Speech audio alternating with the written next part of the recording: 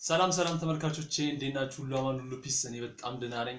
እንግዲህ ዛሬም እንደተለመደው አንድ አዲስ ጉዳይ ይዤላችሁ መጥቻለሁ። እንግዲህ እሺ ተመልካቾቼ እንግዲህ እንዳያችሁት ነው ሙዚቃዎቹን እንግዲህ ሁለቱንም ሙዚቃዎች አሳይቻችኋለሁ። እንግዲህ አንደኛው ሙዚቃ እንግዲህ አሁን ዛሬ የሚለቀቅ ሙዚቃ ነው። እንግዲህ አንደኛው ደግሞ አኩኩሉ የሚለው ሙዚቃ ነው። ሁላችሁም ታውቁታላችሁ።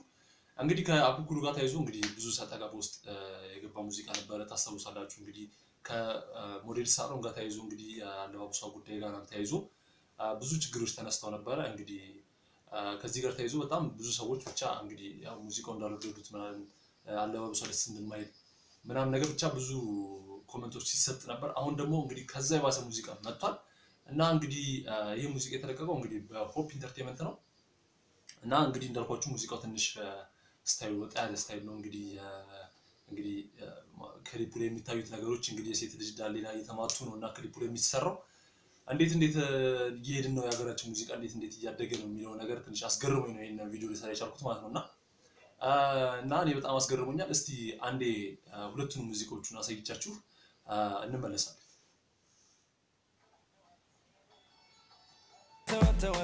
አ፣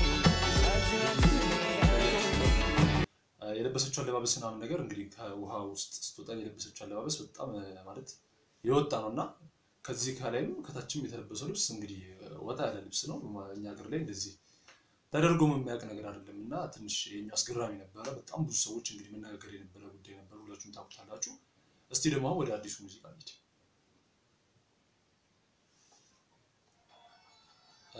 በዘወይ እንግዲህ ያው እንደምታውቁት ሁላችሁ ሙዚቃው የኔዋ ቆንጆ የተባለ ሙዚቃ ነው። እንግዲህ አዲሱ ይሄ ሙዚቃ እስቲ ሙዚቃውን አይሆንልኝ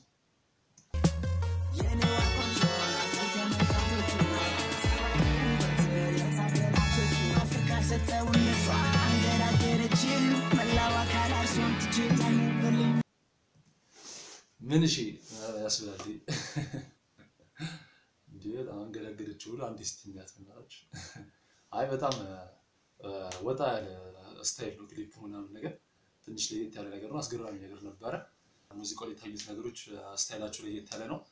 እንግዲህ እኔ በጣም አስገርሞኛል። በጣም ማለት ምን ልበላችሁ እንደዚህ አይነት ነገሮች እንግዲህ ሀገራችን ላይ ብዙም አልተለመዱም እና እንደዚህ አይነት ነገሮችን ከአሁኑ ካላስቆምናቸው ነገሮቹ እየባሱ ሄደው እየቆዩ ሲመጡ እንግዲህ ወደ ከባድ ሁኔታ ውስጥ የሚገቡት እና እንደዚህ አይነት ነገሮችን ከአሁኑ ማስቆም ይኖርብናል።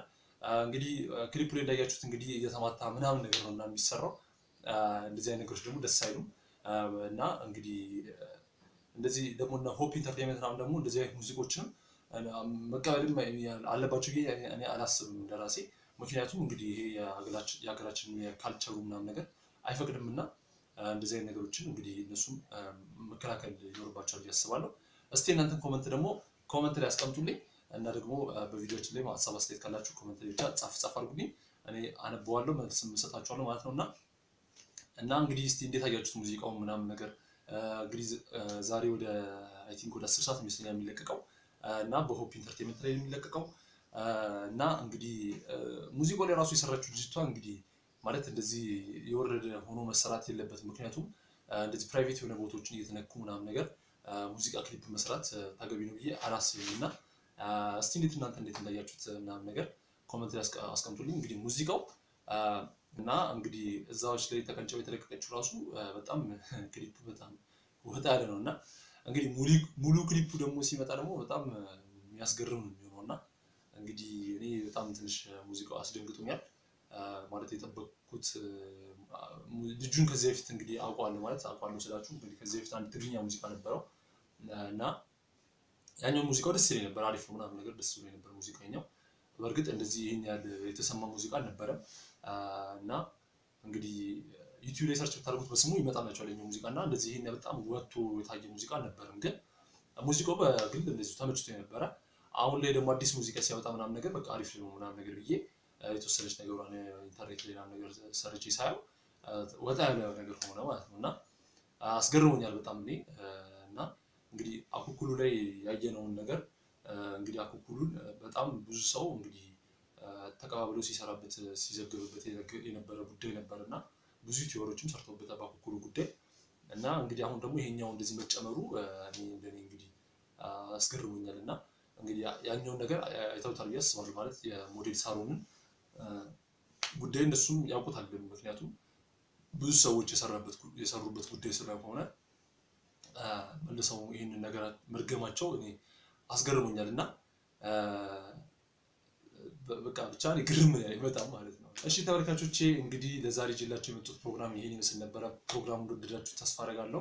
እንግዲህ በፕሮግራማችን ላይ ያላችሁ ሀሳብ አስተያየት ካለ comment ላይ ያስቀምጡልኝ። subscribe ያላደረጋችሁ ካላችሁ ደግሞ subscribe እያደረጋችሁ ለዛሬ እንግዲህ ይህን ይመስል ነበረ። በቀጣይ ፕሮግራም እንገናኛለን። bye bye ቻው።